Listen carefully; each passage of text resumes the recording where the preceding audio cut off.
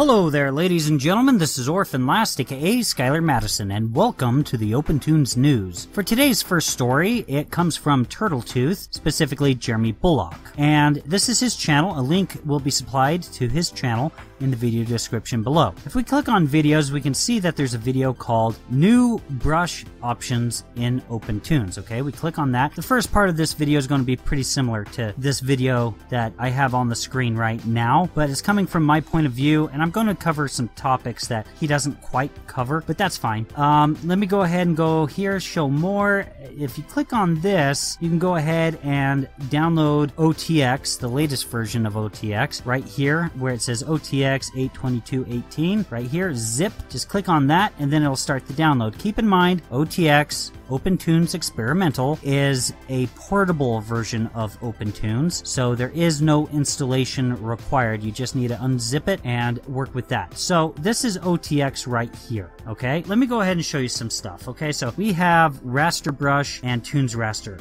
okay? So these are two different levels with two different types of level types. Raster brushes are kind of cool, you know, of course they have pressure sensitivity, so does Toonz Raster. Let me go ahead and create a new style right here. Let me just go ahead. Let me make it red just for the sake of it. Okay, so they both have pressure sensitivity, and if I go ahead and make a circle, okay, and then try to fill that using the fill brush, it says the current tool cannot be used on a raster level. Okay, well, let's go to the Toonz raster level, okay? Let's uh, go ahead and draw out a circle. Let me go ahead and just give it a different fill. New style. Let's give it a green fill, okay? We can go ahead and fill that in. And at any point in time, if I wanted to change that to a purple fill, I can do so. I can change it to blue, uh, you know, sky blue, red, yellow. Let's stick with yellow. I can also change the color of the stroke as well uh, at any point in time. But I can't really do that with a uh, raster level. Okay, if I try changing the color, I can do this all day. And although it changes the color of the style, it does not change the color on the stage. So that can get kind of annoying over time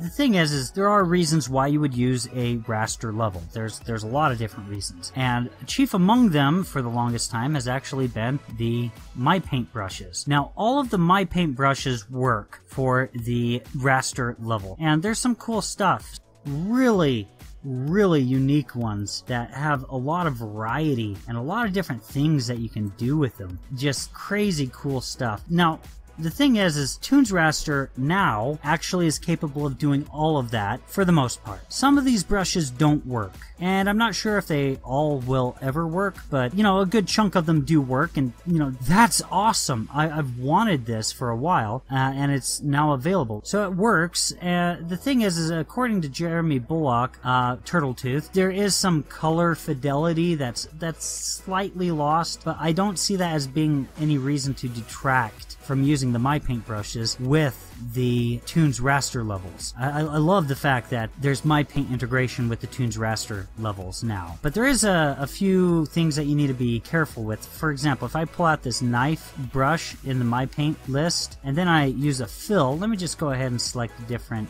style and fill. Wow, that actually turned out looking okay, but you can I actually see a little bit of overlap of yellow and green together. Let me go ahead and change this to a, a color that that that'll conflict with it a little bit more.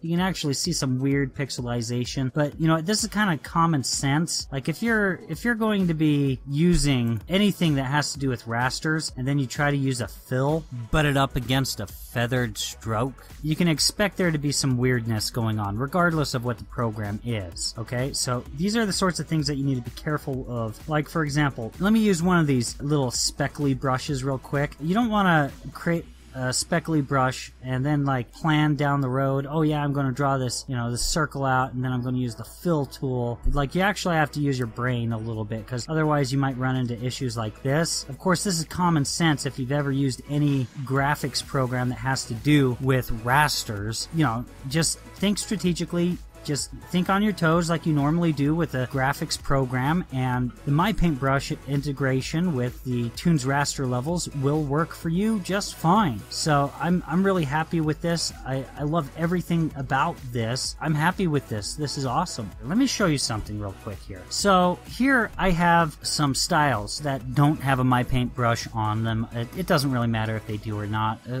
to some extent. But here I've, I've covered this drop down menu on the news in the past, okay? And th- this is actually kind of cool because I'm able to say, let, let me go ahead and draw this with this yellow brush, okay? And let me select palette order. Now, blue will draw underneath it because it's a higher number. It's four. Yellow is three. It's a lower number, so it goes on top on the stacking order. Red will go on top of both of them. So that's kind of cool, right? And then there's under all. So now, let's say I want yellow to go underneath blue, which you know, it went over earlier. I can get it to do that. If I want uh, red to go under all of them, I can do the same thing. I can also, you know, the overall, I can. This is like the default that everyone's used to. Now, the thing is, the reason why I mentioned this is because this drop-down list is somewhat new uh, with this functionality and such, and so I don't really think this is part of anyone's regular workflow. But as time develops, I can totally see people using this quite a bit in the future. And this is phenomenal. I love this idea. But the thing is, is this is what happens when I create a new style with a style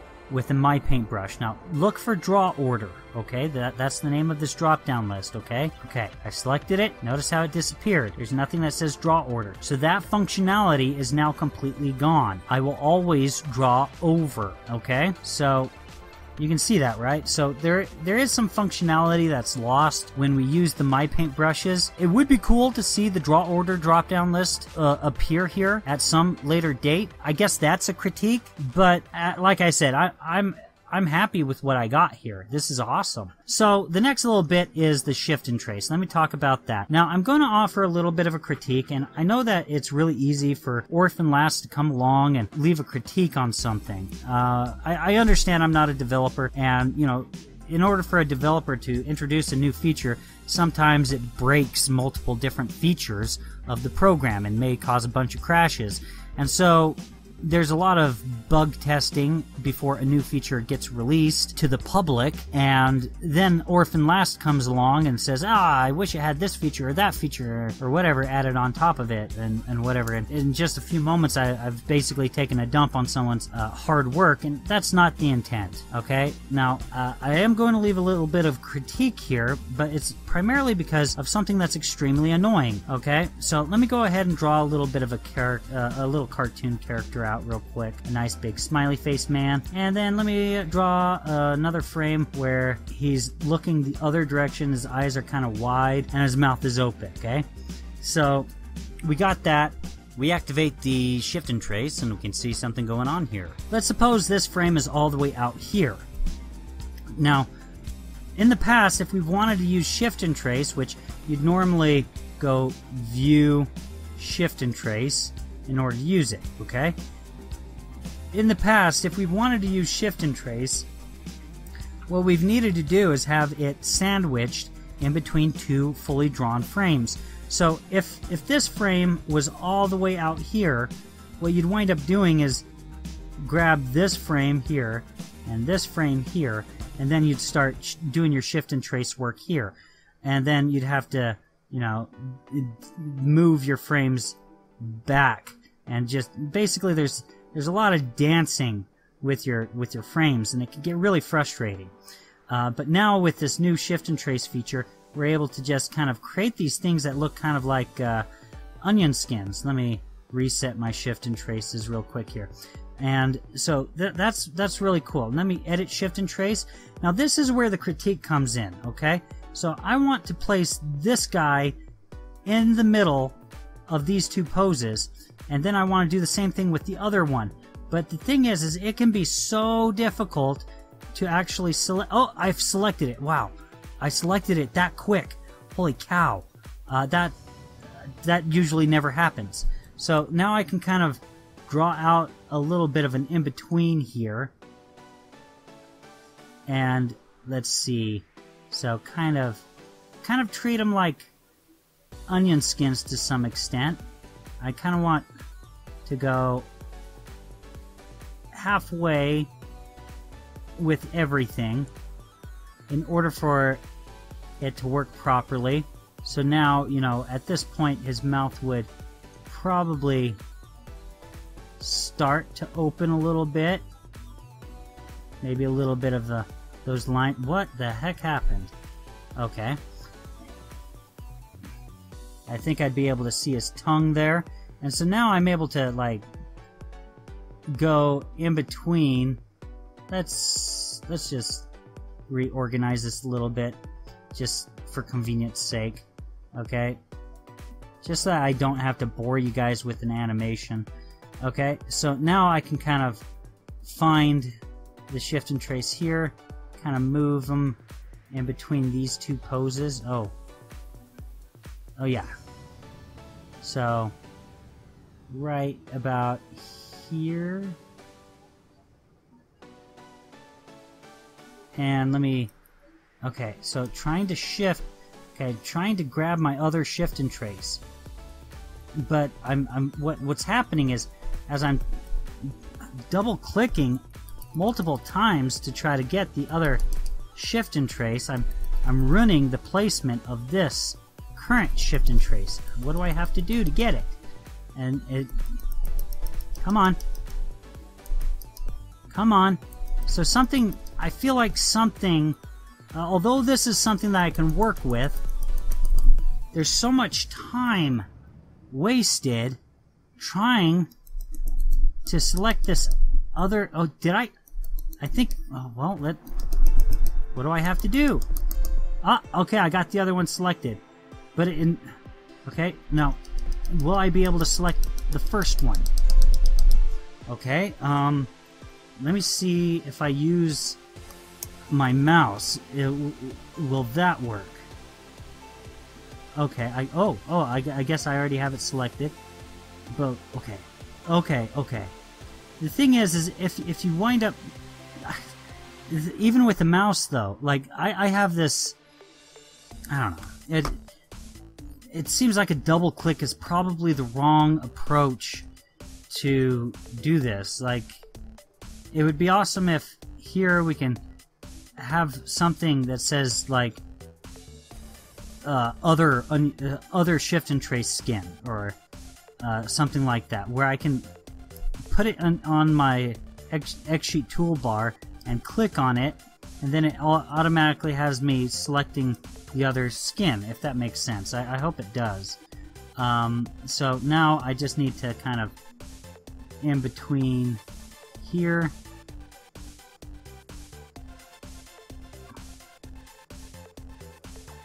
Okay, so the mouth would be a little bit more shut.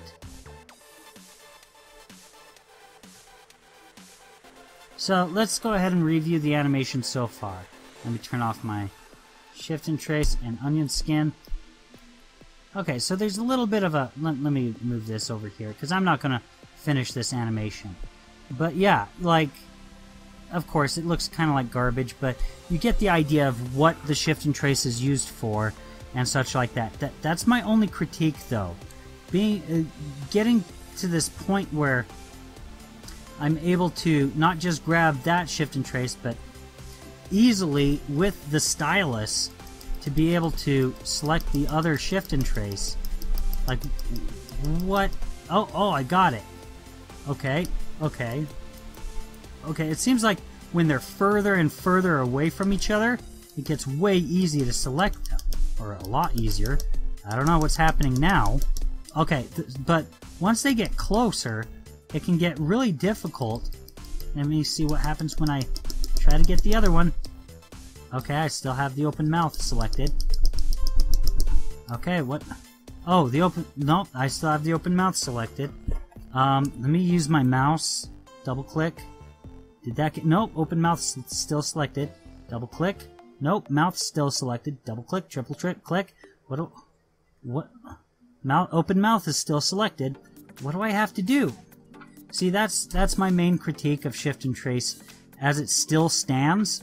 But, you know, as it was, earlier before the this new improvement to shift and trace where we actually see something that resembles onion skins here and uh, such like that I, I, I could work with that but now we're getting the added bonus of having this one two three onion skin sort of uh, look to the shift and trace i'm so happy with that that is so cool and i can i can even move this all the way out here so i can address a shift and trace that's all the way out here on frame 10 if I wanted to.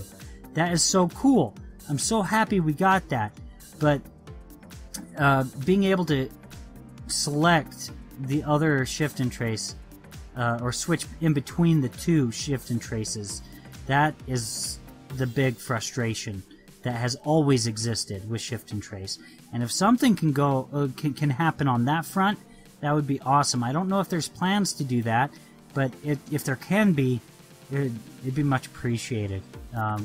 Because um, uh, as you can see, just just from this video uh, and my frustration with it, even still as it stands, it, it can be frustrating. I can still work with it.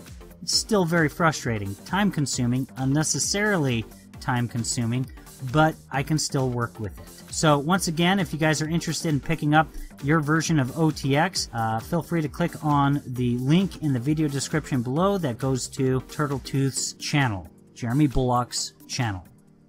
Now, I would like to apologize for just how lengthy that last story was. I just wanted to include the context of everything behind that critique, including the time that is involved in just trying to swap out which shift and trace that you happen to have and the type of frustration that might develop while trying to use shift and trace because of that. Again, I don't know if everything that's being involved in the improvements to the shift and trace feature, but yeah, that those are my two cents. That's just what I think. So the next story of the day is OpenToonz Morevna edition 1.2.0.3 has released and it was published fairly fairly recently by Constantine right here. So this is the latest version of OpenToonz Morevna. Now, uh, let me go ahead and skip down to the bottom of this article because it's important that people understand that since it happens to be part of the 1.2.0 branch, it includes just a small set of fixes from the latest official version of OpenToonz 1.2.1. So there are fixes that are in this version that are not in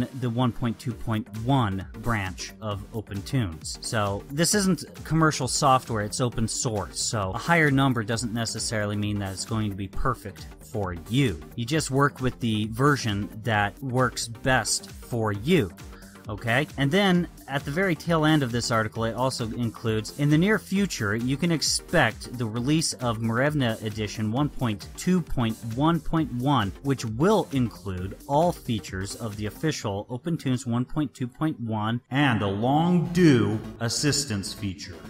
Now, for those of you that aren't familiar with the assistance feature, this is something that I personally am really excited about. I, I started a bounty, kind of like a crowdsourcing campaign, kind of small scale, for $700 and everything like that. And we were able to meet that $700 goal. And this basically is the assistant tool from Krita being introduced into OpenToonz so that you'll be able to have uh, perspective tools and rulers, parallel rulers, and a lot of really cool things integrated into OpenToonz so that you don't necessarily have to move over to Photoshop or Krita or, or other programs in order to draw out your backgrounds. You can do it all in program. At least that's the hope of everything. And you can also do the same sort of curvilinear perspective that I have taught inside of my curvilinear perspective series where you draw out a panoramic image and you're able to have an, a character run a whole 180 degrees. So this is like you looking to your right shoulder, you looking straight ahead, and you looking to your left shoulder. So you could have the camera kind of consume just a portion of this right here so that you don't give away the entire wide angled lens and it, will actually look like the camera is actually swiveling and that's that's kind of awesome that's something that i'm really hoping to get into OpenToonz. So I- I'm looking forward to that. Heck yeah. But let me go ahead and focus on the present, okay? The present is 1.2.0.3. Okay. We are happy to announce a new release of OpenToonz Morevna Edition. This version is an update to 1.2.0.x branch, which delivers the following fixes from our developer, Ivan Mahonin. Smooth sound playback and scrub for Linux operating system. Fixed crash when trying to process Toonz vector levels PLI files via CLI on Linux. We now provide portable versions for Windows users, which allows you to have a Morevna edition installed in parallel with other flavors of OpenToonz. So, just with these two fixes right here, we can see that there's a little bit of a target market. So if you happen to be using Linux, this might actually be a good version for you, especially, okay? And then moving on to the next bit. Also, this version includes the following fixes from official version of OpenToonz. Fixed crash when switching to fill tool on vector level, thanks to Shun Iwasawa. Fixed the artifacts of plastic tool on semi-transparent images, thanks to Shun Iwasawa. Fixed playback contour artifact of plastic tool, thanks to Shun Iwasawa. Fixed issue with shift dragging keyframes on the timeline, thanks to Manon Jong. Fixed issue with wrong cell highlighted when dragging from level strip to timeline, thanks to Manon Jong. So these two guys are having a heyday, doing a lot of good work. So ultimately, with this latest version of OpenToonz Morevna, it's not like you're getting a whole bunch of new features, but there's a lot of new bells and whistles under the hood, especially for those of you that happen to be using Linux. So just keep that in mind. Also, if you just want to try it out, you can always just get the portable version. You don't have to necessarily install it and have it replace your current 1.2.1 version, okay? A link to this story will be supplied in the video description below.